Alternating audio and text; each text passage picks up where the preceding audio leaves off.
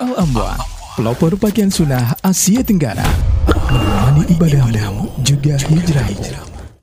Berkata Syekh Abdul Rahman bin Nasir As-Sa'di rahimahullah, "Al-fitratu hiya al-khilqatu allati khalaqallahu ibadahu 'alayha wa ja'alahum mafturina 'alayha 'ala mahabbatil khair wa itharihi wa karahatil syarr wa daf'ihi." wa fatarahum hunafa'a musta'idina liqabulil khair wal ikhlas lillah wa taqarrub ilaih kata Syekh Abdul Rahman bin Nasir As-Sa'di rahimahullah yang dimaksud dengan al-fitrah adalah penciptaan manusia.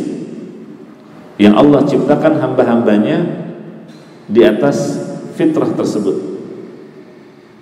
Iya jadi Allah Subhanahu wa taala telah menjadikan bagi hamba-hambanya fitrah. Makanya kadang kita dengar oh itu sudah fitrah manusia. Fitrah manusia itu apa? Kata Syekh di antaranya adalah mahabbatul khair. Fitrah manusia itu mencintai kebaikan. Ini fitrah asalnya di atas penciptaannya semua manusia mencintai kebaikan mencintai kebenaran. Wa itharihi. Dan mengutamakannya. Dia cenderung lebih mengutamakan kebaikan kebenaran. Ya. Ini fitrah manusia sebelum ternodai dimasuki. Ya. Sebelum terkontaminasi dengan hal-hal yang datang dari luar Itulah fitrah manusia yang Allah tetapkan. Allah menjadikan di dalam hati hamba-hambanya cinta kepada kebenaran dan selalu mengedepankan kebenaran itu dari apa pun. Dan sebaliknya, fitrah manusia adalah wa karahatis syarr wa daf'ihi Fitrah manusia itu membenci keburukan, membenci kebatilan, wadaf'ihi dan menolak. Fitrah manusia adalah menolak keburukan, menolak kebatilan. Ya. Ini fitrah manusia pada asal penciptaannya.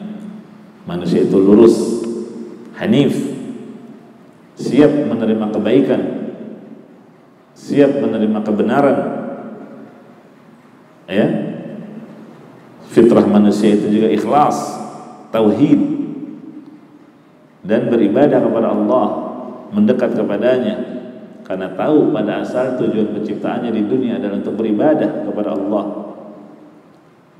Nah itulah yang dimaksud dengan fitrah sebagaimana Allah sebutkan dalam ayat fitratallahi allati fatara fitrah Allah yang dia menciptakan manusia di atas fitrah tersebut. Dan juga berdasarkan hadis Nabi sallallahu alaihi wasallam, kullu mauludin yuladu 'ala al-fitrah fa abawahu yuhawwidanihi aw yunassiranihi. Setiap anak yang lahir kata Nabi sallallahu alaihi ia dilahirkan di atas fitrah. Dengan maksud fitrah yang tadi kita jelaskan. Setiap manusia lahir di atas fitrah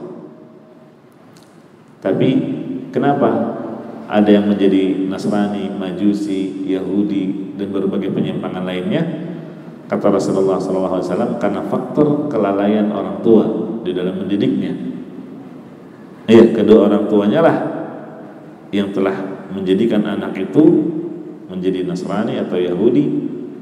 Berarti orang tua memiliki peran di dalam memalingkan si anak dari fitrahnya. Iya. Inilah akidah sunnah wal jamaah yang berbeda dengan kaum khawarij. Kalau khawarij menganggap manusia itu pada asalnya kafir, baru nanti ada yang dapat hidayah. Sedangkan ahli sunnah wal jamaah tidak demikian berdasarkan dalil-dalil yang ada. Asal penciptaan manusia adalah muslim, lurus ya kecenderungannya kepada kebenaran kepada tauhid kepada al-haq. Sebagaimana disebutkan dalam hadis kursi Allah Subhanahu wa taala berfirman wa inni khalaqtu ibadi hunafa'a kullahum. Kata Allah Subhanahu wa taala sungguh aku menciptakan hamba-hambaku semuanya dalam keadaan hanif. Dalam keadaan hanif lurus. Kecenderungannya itu kepada kebenaran bukan kepada kebatilan. Wa innahum atathum asyayatinu fajtalathum an dinihim. Tapi kemudian syaitan mendatangi mereka. Ya mendatangi manusia. Lalu syaitan itulah yang memalingkan manusia dari fitrahnya. Ya Makanya kita diperintahkan oleh Allah untuk menjaga fitrah ini. Fa'aqim wajhaka lid-din hanifa. Iya. Fitrat Allah allati fatara an-nasa 'alaiha. Nanti disebutkan oleh penulis rahimahullahu taala. Jelas? Itu makna al-fitrah. Hadza siratun mustaqim